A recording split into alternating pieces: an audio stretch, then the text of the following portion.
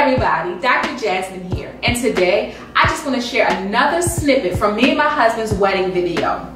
Here's a quick look at some of the things I was looking forward to before I got married. Well, the obvious. Well, Oh, obvious for us, but But we're not even. explain that. Explain. Well, we decided to wait. You know, wait in every sense of the word. Um, with regard to being intimate. Um, that's the obvious, but I'm looking. Can't wait for two-income household. Let me tell you, I've been um, a homeowner for almost 10 years, and I can. I'm ready to share my life with somebody, but I'm also ready to share some of these bills. Oh Jesus! John, the world. The truth, the truth to come out.